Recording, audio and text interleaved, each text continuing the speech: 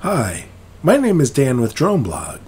Today, we'll be walking through unfolding and folding the Mini 3 Pro arms and legs, proper propeller positioning for storage, and changing the Mini 3 Pro propellers.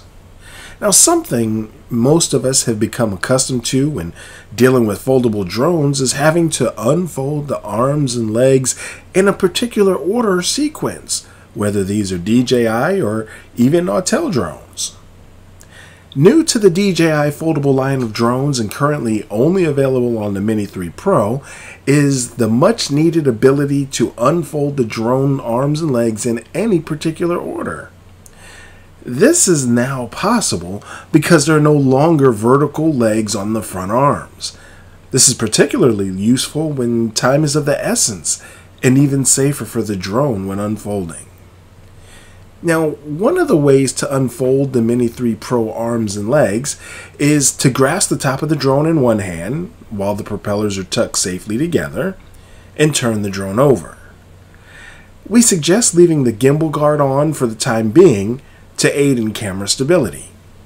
Now the next step, we'll rotate the front arms up and to the front, being careful not to bend the propellers. Now we'll turn the Mini 3 Pro back over. Now while gripping the Mini 3 in one hand, we're going to pull the left and right legs from their position in the center of the Mini 3 Pro body. This entire process can likewise be done by unfolding the back legs first, followed by the front arms. With practice, you can have the drone unfolded and ready for flight in a matter of seconds. Now we'll discuss positioning the propellers for storage. Now, as might have been noticed with the Mini 3 Pro propellers, as is the case with all DJI Mini drones, the propellers are very thin and don't stay in place when stationary, unlike the ones on, eh, let's say, the Air 2S, for example.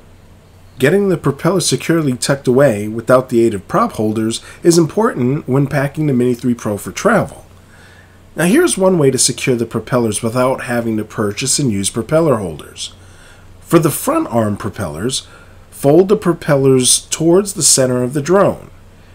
Tuck them one under the other so that they lock each other securely into place.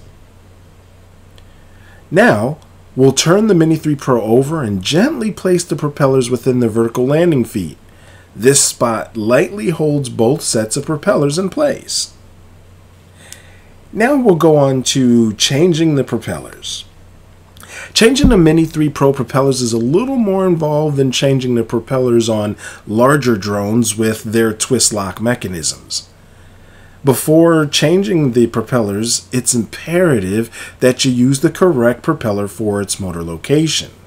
Now, if this is not observed and the wrong propellers used, it will result in the drone not taking off or flying correctly.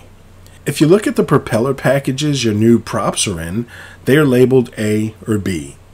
The front right and rear left propellers are labeled as A. They have a small ridge built into them near the mounting location. The front left and rear right propellers are labeled as B and do not have a ridge on them. When preparing to change propellers, you'll need the screwdriver that came included in the Mini 3 Pro box, as well as the proper spare set of propellers for the respective motor locations, either A or B. To change the propellers, First, remove the proper propeller from its packaging.